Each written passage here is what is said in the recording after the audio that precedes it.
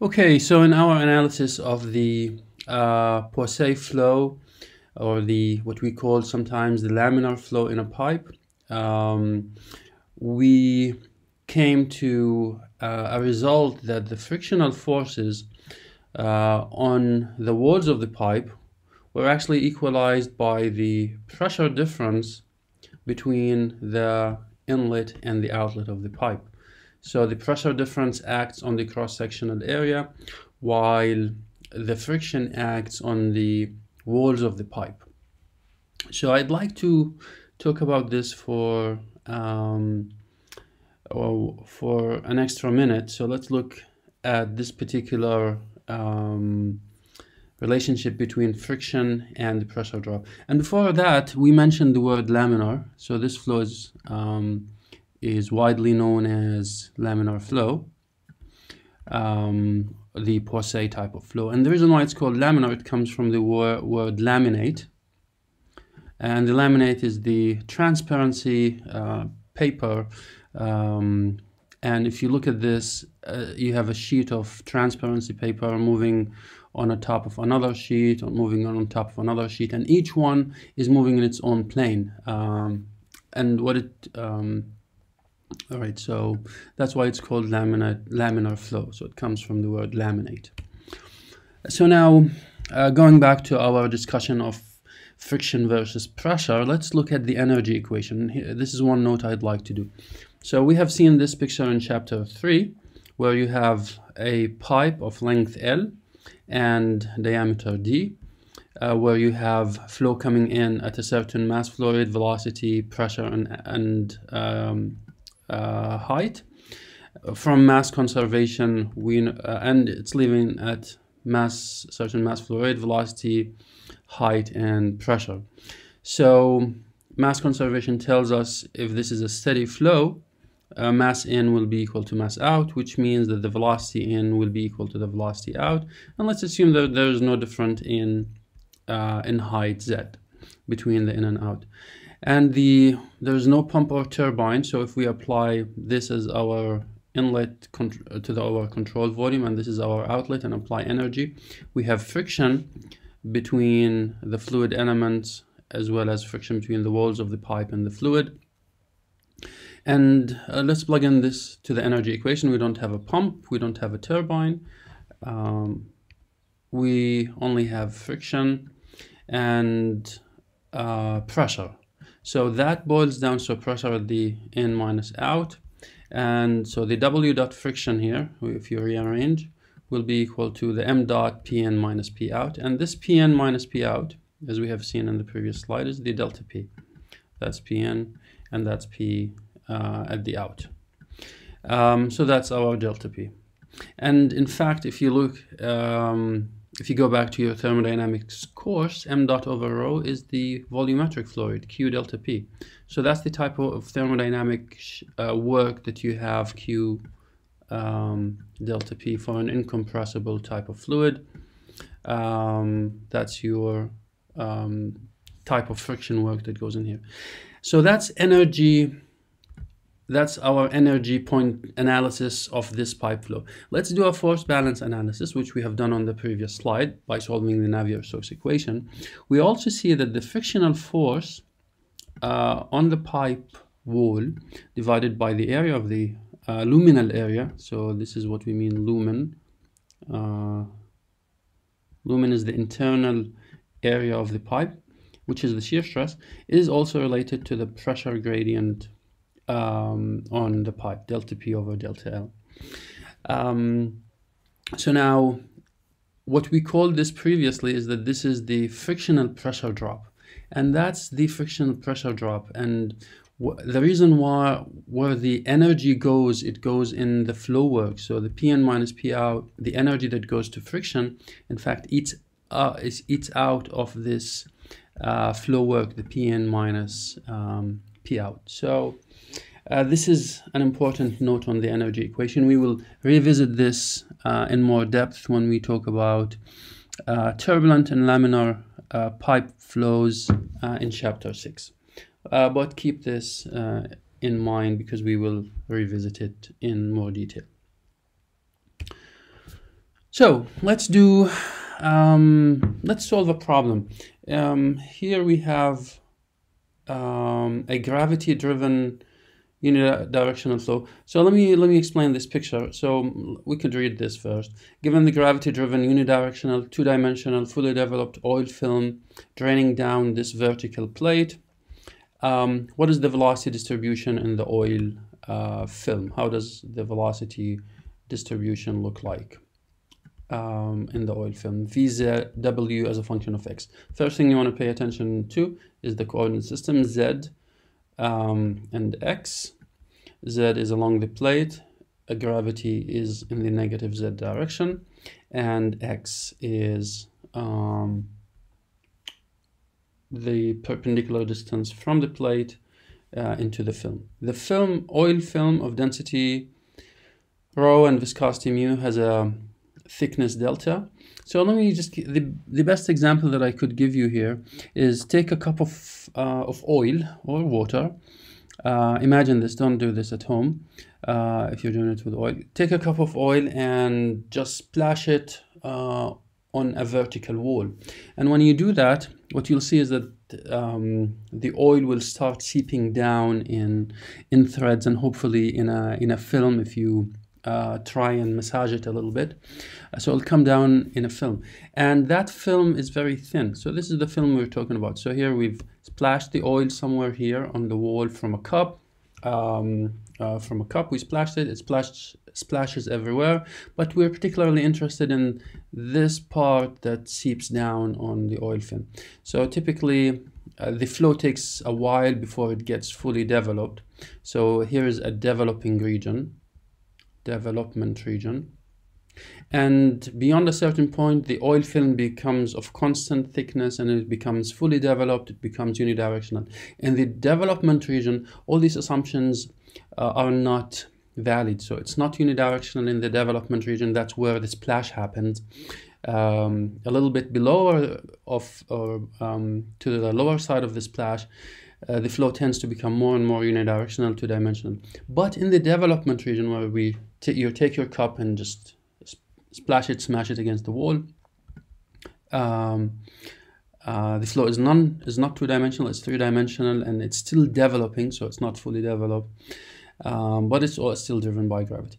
Now that we are out of the development region and uh, the oil is seeping down in a, in a steady fashion now, uh, the question is, what is this velocity distribution? So now that you have an idea, a physical idea, and you can imagine in your head what's going on, um, let's try and solve this.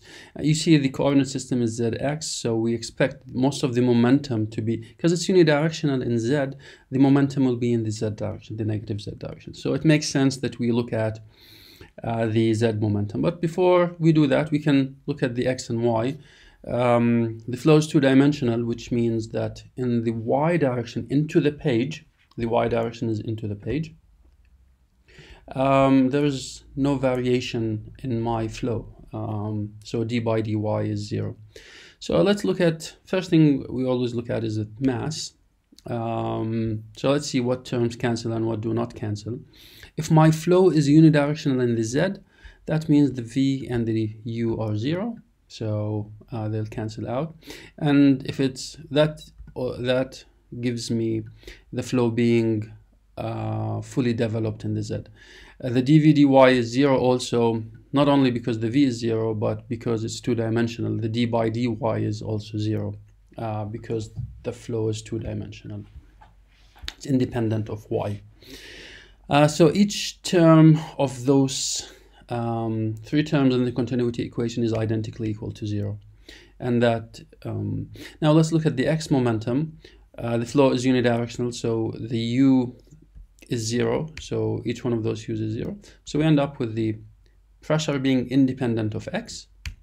And y, we also get that the pressure being independent of y. And let's look at the z momentum. Um, this term is steady, so we cancel it out. Um, the u is 0, so this term cancels out. The v is 0, this term cancels out.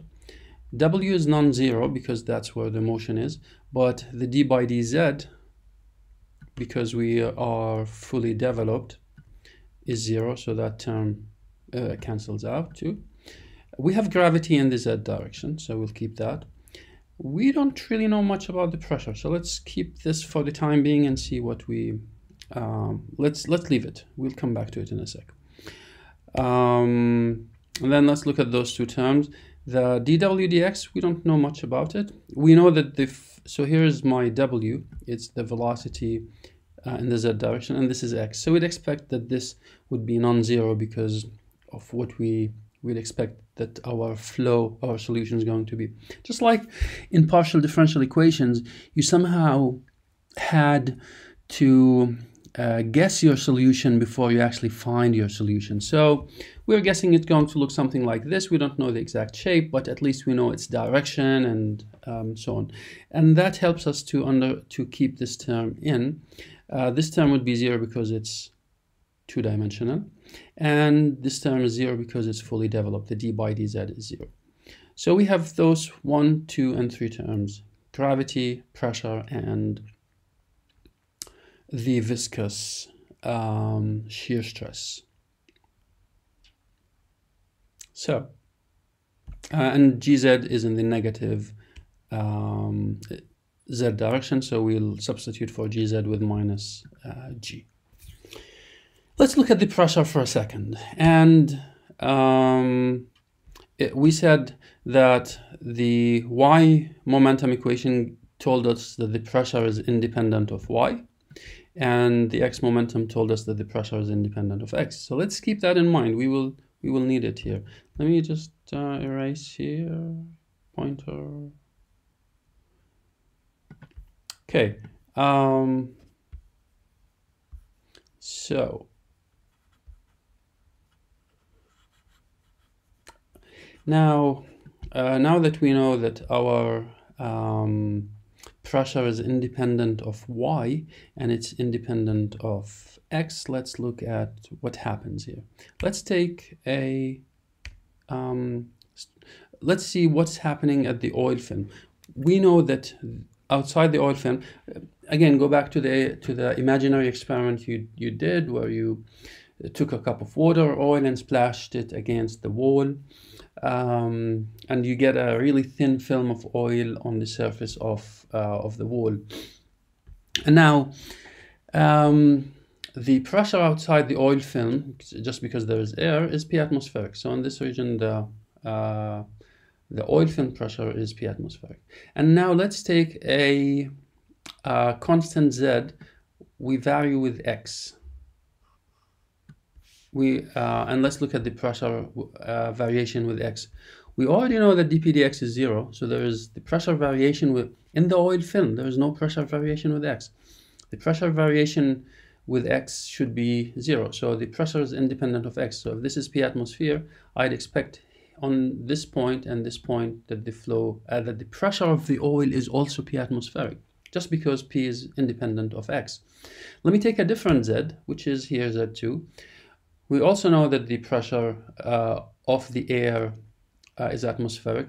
So the fluid particle of the oil right here has atmospheric pressure. And if I take this x, also pressure is independent of x. So this will be P atmospheric, this will be P atmospheric. So if all those points are P atmospheric, so I'd expect that everywhere in the oil film, uh, pressure is atmospheric pressure. So in fact, there is no variation of pressure with Z. So I have, here is my Z1 and here is my Z2. Um, so just by knowing something about the pressure variation with X, now we could conclude that this dP dZ is also zero. No variation of pressure with Z from our um, mental analysis that we have just uh, done. So the pressure is everywhere in the oil film, the pressure is, is atmospheric. So it's independent of X, Y, or Z. Um, so our gravity-driven flow boils down to the viscous stress and gravity. And it makes sense because gravity is pulling you down, um, pulling the oil down, and friction is trying to oppose it. Uh, the wall is trying to keep the stickiness of the oil on the wall is trying to keep it in place while gravity tries to pull it down. And there, and once it becomes fully developed unidirectional in a steady fashion, these two forces on the oil will uh, equal out until we so we get a steady fashion of flow. Um, so uh, you integrate this just like we have done before. Uh, you have the uh, in the z direction g equal the viscosity over density del square w. You integrate once and twice, and you get c. Uh, you get a parabolic uh, form of the equation. You get c1 and you get c2. Uh, you apply your boundary condition at this surface. You have no slip, and at the outer surface, you have um, you go back to uh, the boundary conditions uh, presentation or video and you'll see that we have an interface here and we have to have equality of shear. So the shear, the viscous shear stress on the oil side at uh, x equal delta should be equal to the viscous shear stress on the uh, air side.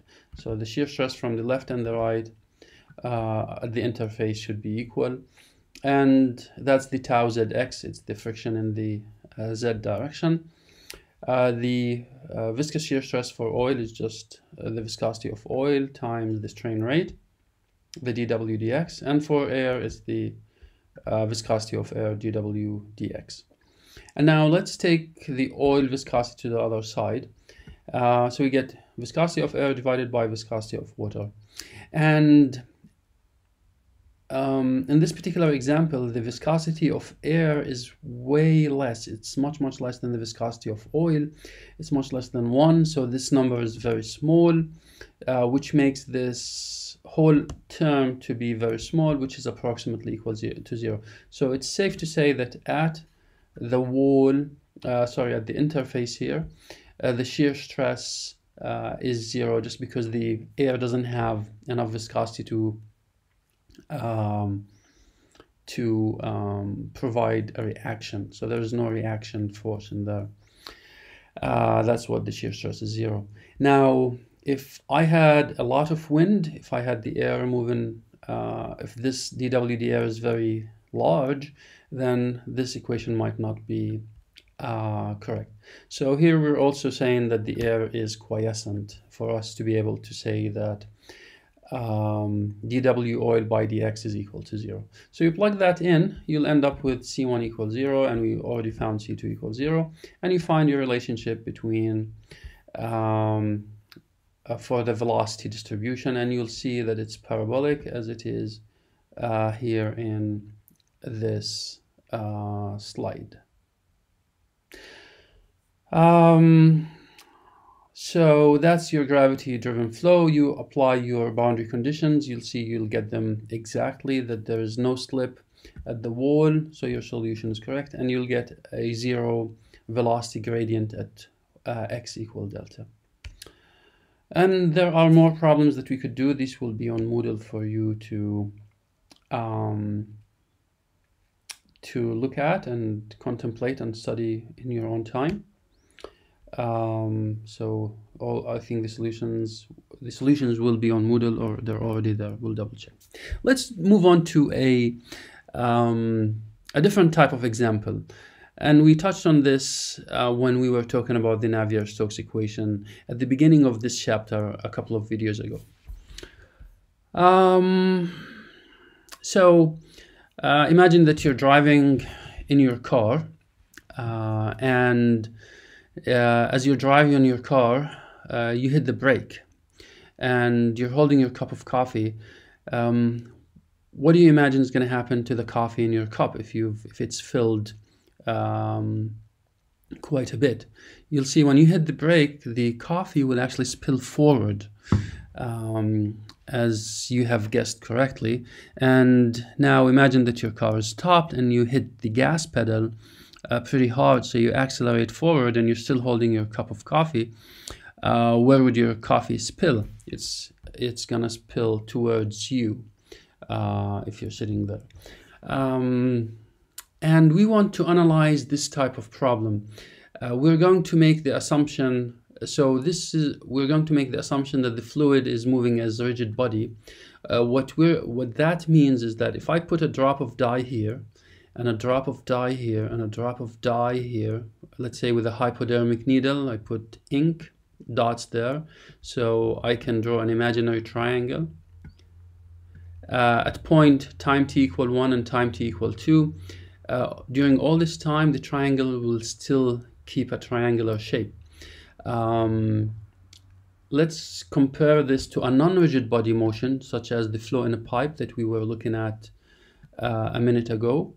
If I draw my triangle, I put three dots right here.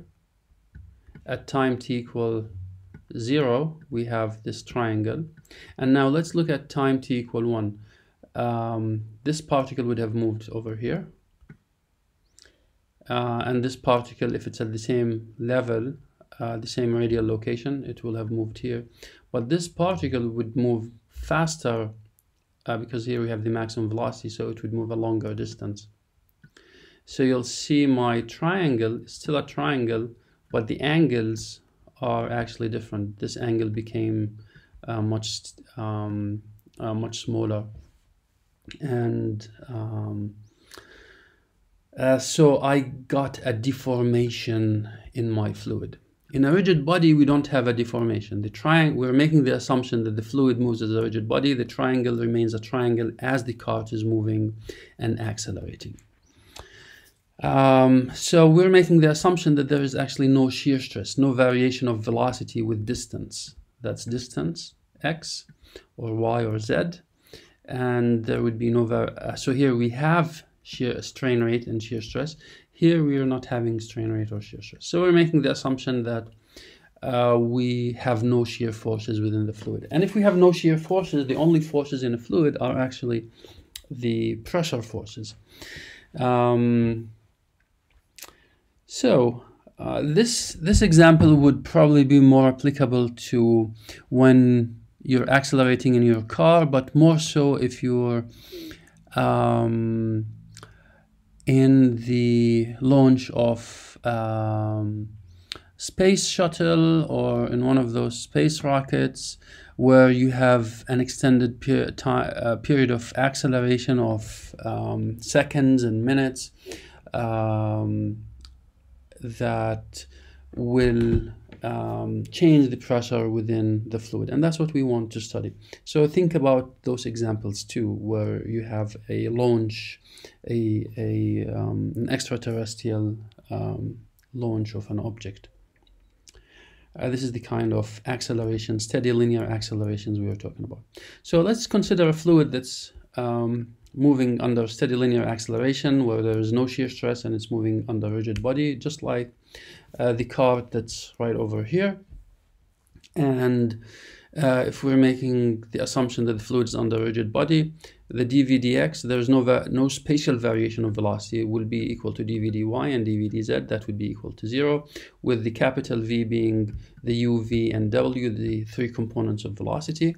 And if I have a constant acceleration in the x and z, uh, um, the du dt would be my ax is a constant and dw dt is az and it's constant. And let's make the assumption that um, our problem is two-dimensional. So we are we don't have any variations in the y direction. So it's 2D.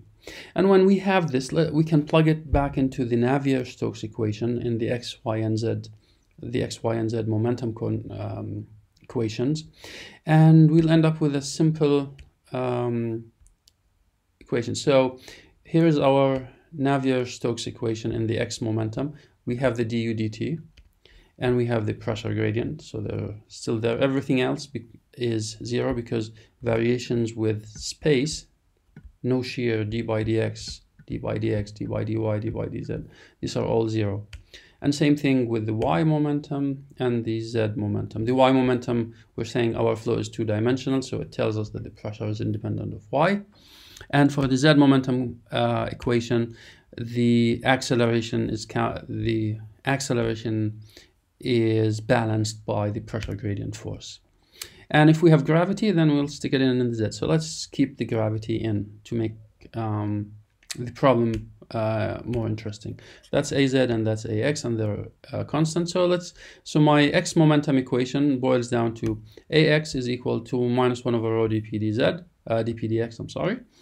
Uh, so that tells us um, we already know that p is independent of y, so p is only a function of x and z.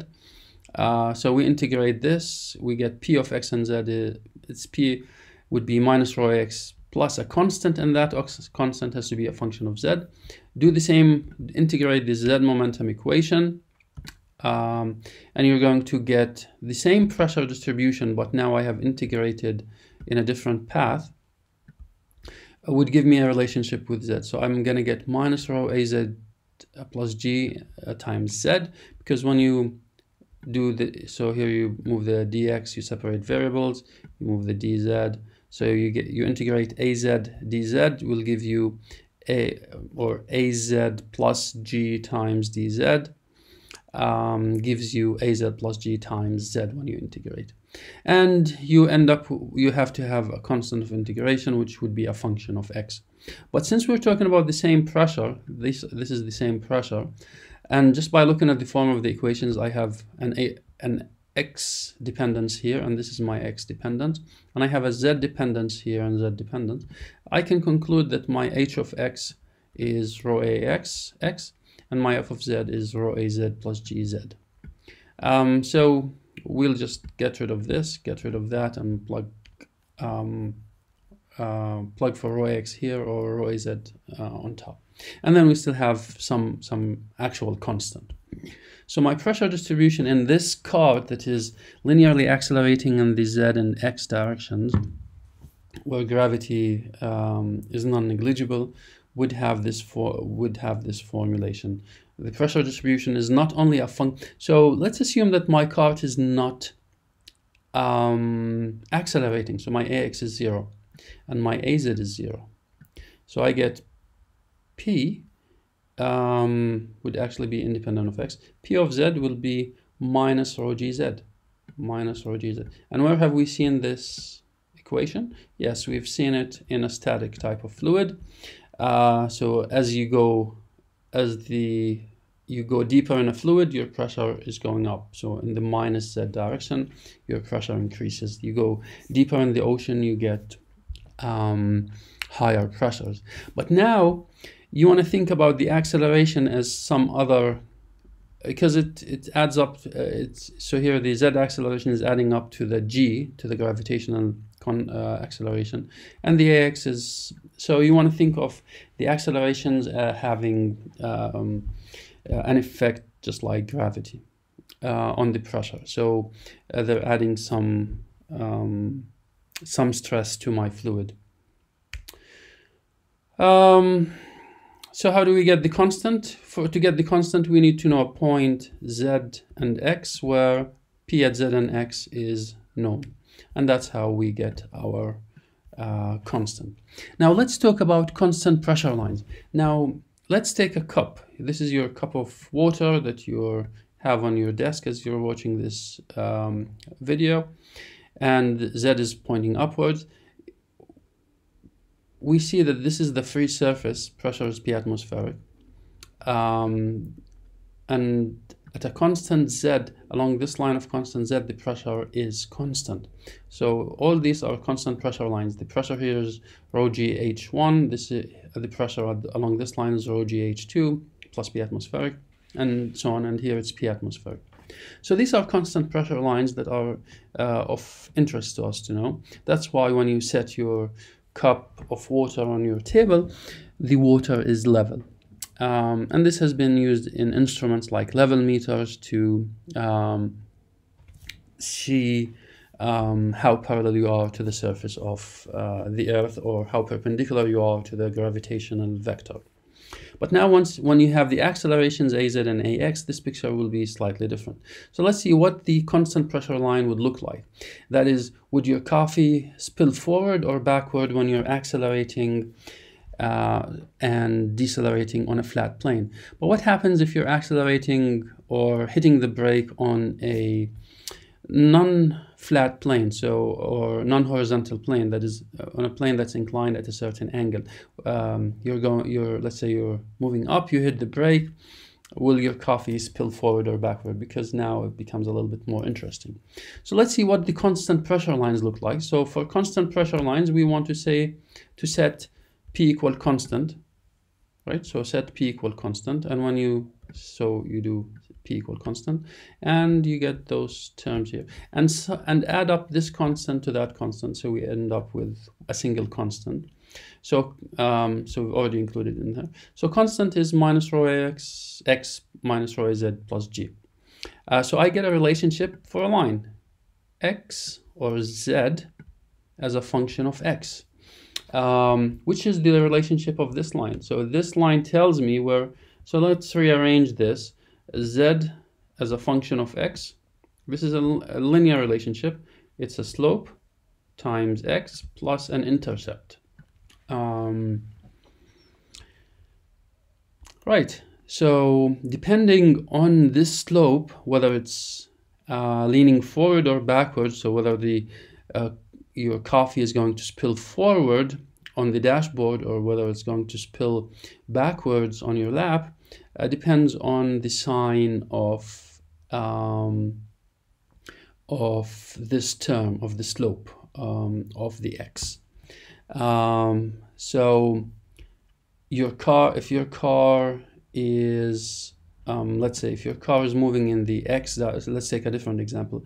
Your car is moving in the x direction and you hit the brakes so that means so the velocity is in the x direction but you and you hit the brake then your acceleration is actually in the negative x direction. But if your acceleration and velocity are in the same direction um, then your acceleration is positive. When your acceleration is in the opposite direction to your direction of motion then it's negative um, that that uh, assuming that the direction of motion is in the positive x direction. So you see this term can be positive or negative, and um, the slope um, or the angle would be just the tan inverse of this uh, slope over here. Um, and one, as always, as in every slide that I have said in, or in every example that we have solved, we're always saying please pay attention to your coordinate system because your coordinate system is very important. Um, z is pointing upwards x is pointing to the right g is pointing um, downwards. Um, so and this is our um, we now have found a relationship for the pressure distribution in a fluid that's accelerating in the x and z direction and it's still in a gravitational field and now we can predict uh, what the shape what the inclination of the interface is uh, going to um, to be. So here is one example that we uh, want to look at. They tell you uh, that you have a cart that is moving uphill on a 30 uh, degree inclination surface. Um, the fluid levels in the, car the cart length is 100 centimeter and the fluid level at the front is 15 centimeter while the fluid level at the back is 28 centimeter. The question is, is the, is the cart hitting the gas pedal or hitting the brake pedal? Um, so I would like you to try and give this a shot um, on your own and we will post the solution on Moodle or we'll just post it in the second video. So with this, we um, actually have concluded what we want to cover in chapter 4. We are going to skip the fluid moving and under constant angular uh, speed. So I will leave that uh, for you to um, uh, for your own education to study on your own. Um, and it's interesting that the free surface will, when you're, uh, so let's say you take a bucket, you um, tie it to a rope and then spin it uh, over your head, you'll see that the free surface is going to actually have a parabolic type of um, of shape. And uh, this is the derivation so that's why you get a parabolic. You get um, the pressure distribution as a function of r and z. You set this constant so the relationship between z and r is parabolic. That's why you get um, um, a curved surface. It's a similar situation but it doesn't directly apply to our rigid body motion when you have a vertical kind of flow. When it rotates you're going to get this parabola kind of um, and even when you spin when you um, when you mix your sugar into your cup of coffee um, and you stir it with a spoon in a circular fashion you're going to get this depression towards the center of your uh, cup and you're going to get sort of this kind of parabolic um, parabolic uh, shape of the free surface. Even though that's only an, an analogy because we're not moving in a rigid body motion when you have your spoon stirring your your cup of coffee just because you're creating a lot of shear stress and we're making the assumption in those derivations that we have no shear stress. But we still have some resemblance. We still have some of that effect going in there in addition to all these extra shear stress effects okay very well. So this is our we conclude chapter four over here. And um, um, we I, as I said please try and do this. Uh, I might do just this, a very quick video um, to just solve this um, uh, for you. So please give it a shot and I'll see you uh, in the next video where we're covering uh, chapter 5 and talking about um, the non-dimensional numbers and we're talking about scaling of fluid problems. That should be a very interesting chapter just because uh, especially in these corona times because um, there's so many take-home experiments that we can do together. Okay uh, thank you everyone for listening and i'll see you in the next video lecture